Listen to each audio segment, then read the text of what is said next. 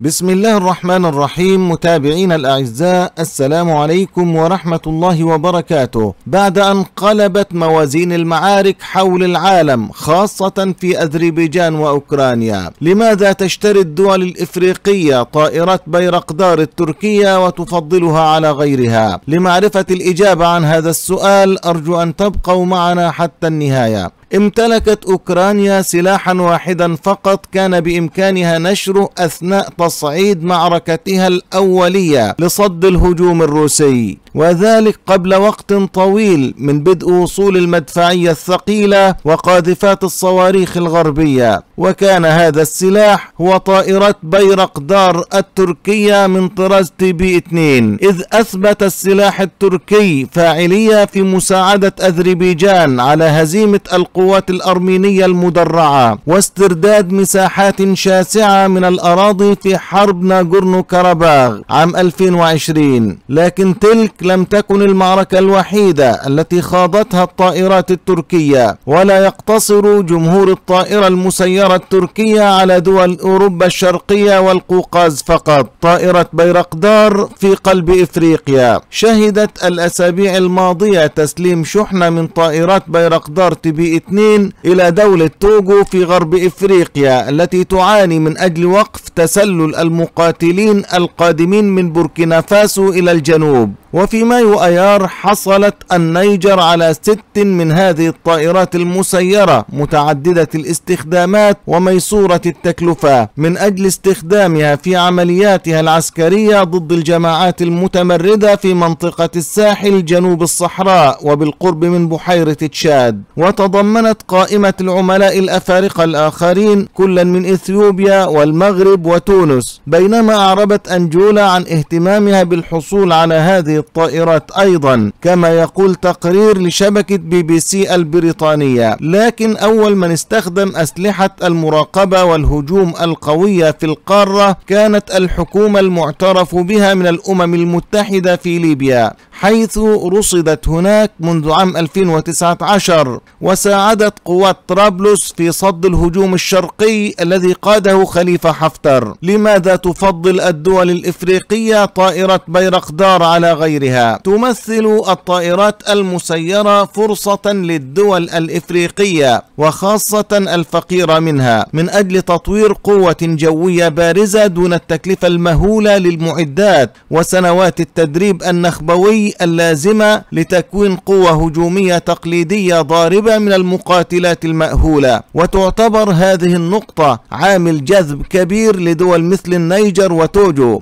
إذ تواجه هذه الدول تحديا معقدا يكمن في محاولة كبح جماح الجماعات المسلحة شديدة الحماس والحركة حيث تخيم تلك الجماعات في الأدغال وتتحرك سريعا بالدراجات النارية وسط التضاريس الوعرة لمنطقة الساحل من أجل نصب الأكمنة وشن الهجمات المفاجئة على مواقع تمركز الجيش والدرك فضلا عن المعابر الحدودية والمجتمعات المدنية. ويعاني جيش النيجر من هذه المشكلة منذ سنوات ويقاتل ضد المسلحين في منطقة ثلاثية الحدود. تربط النيجر مع بوركينا فاسو ومالي وتبعد ساعات قليلة بالسيارة عن العاصمة نيامي. أما بالنسبة لتوجو فيعتبر التهديد الجهادي المباشر بمثابة واقع جديد نسبيا وتجربة مقلقة للغاية حيث ظلت أنشطة الجماعات المسلحة مقصورة على وسط منطقة الساحل مالي وبوركينا فاسو والنيجر وتركزت بشكل أساسي في مناطق بعيدة نسبيا عن حدودها مع الدول الساحلية مثل ساحل العاج وغانا وتوجو وبنين. هل تحسم الطائرات من دون طيار المعركة مع الجماعات المتمردة في إفريقيا سؤال مهم. لكن الصورة بدأت تتغير مؤخرا بالتزامن مع بسط الجماعات المسلحة لنفوذها في الكثير من أجزاء بوركينا فاسو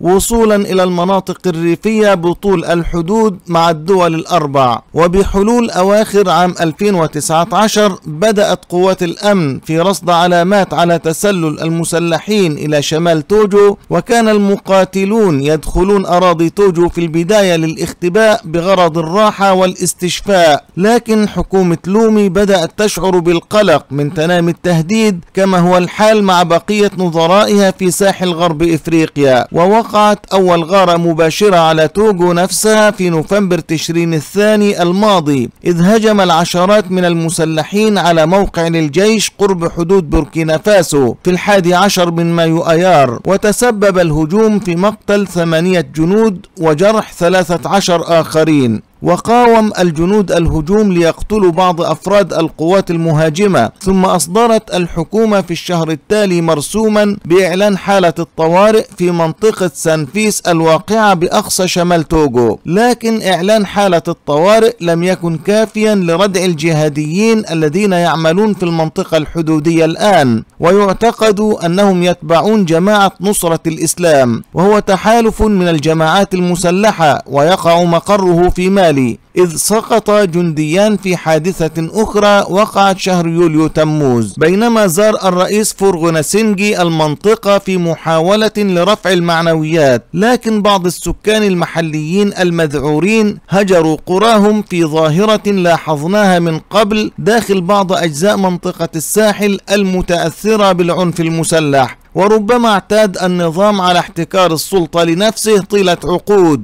لكنه شعر بالحاجة الآن إلى دعوة الأحزاب المعارضة من أجل إجراء محادثات حول وضع استراتيجية وطنية موحدة للتعامل مع التهديد المسلح. ومع ذلك يجب أن تلعب القوة العسكرية المباشرة دورها في حسم المعركة. وهنا يأتي دور الطائرات المسيرة التركية التي ستزود توغو مثل النيجر بقدرات المراقبة الجوية الوطنية الخاصة حتى تتمكن من رصد جماعات المقاتلين المسلحين وقصفهم إن سنحت الفرصة. الشراكة العسكرية الإفريقية التركية وليس استخدام الطائرات المسيرة بجديد على منطقة الساحل إذ تمتلك فرنسا والولايات المتحدة الأمريكية قواعدها الخاصة بالطائرات المسيرة في النيجر والتي تعمل من أجل دعم استراتيجية الأمن الحكومية. بينما تعتبر الطائرات المسيرة أداة قيمة لتوسيع القدرة العسكرية الإجمالية بالنسبة للقوى الأكبر مثل إثيوبيا التي تقاتل حكومتها الفيدرالية ضد الجبهة الشعبية لتحرير تيغراي. ومع ذلك تظل المخاطر قائمة كما هو الحال مع المقاتلات المأهولة. إذ أبلغ عمال الإغاثة في يناير كانون الثاني عن قتل الطائرات المسيرة لأكثر من 300 مدني في صراع